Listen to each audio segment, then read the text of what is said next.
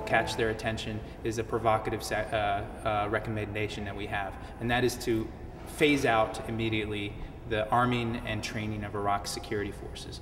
We think this is a, an essential recommendation that people need to pay attention to for a couple of reasons.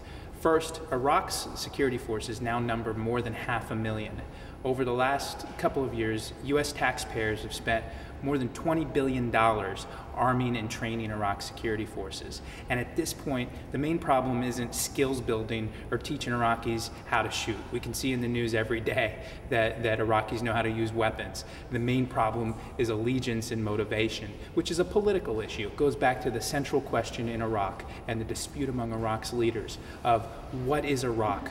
What should it stand for? And how should we divide the power between the different factions? And at this point, simply arming and training different sides of, of, of Iraq's civil war, which is essentially what we're doing through, through this security assistance program, is not in U.S. interests. And it's not in U.S. interests for two main reasons.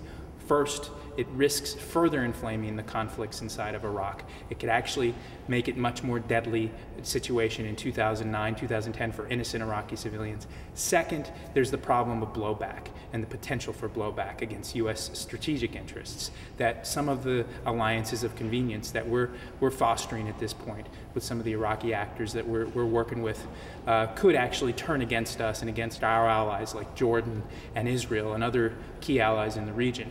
And this is a dangerous situation, and we don't want to repeat the history, for instance, of uh, our, work with the Mujahideen in Afghanistan in the 1980s, which, which in a sense uh, was, a, was an alliance of con convenience with some of the key actors that became the head of Al Qaeda.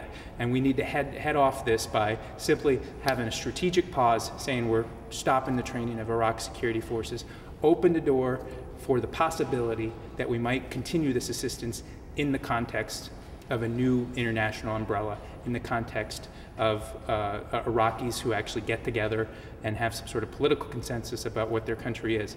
But otherwise, we're putting the cart before the horse and we're running the risk of further inflaming the violence inside of uh, Iraq.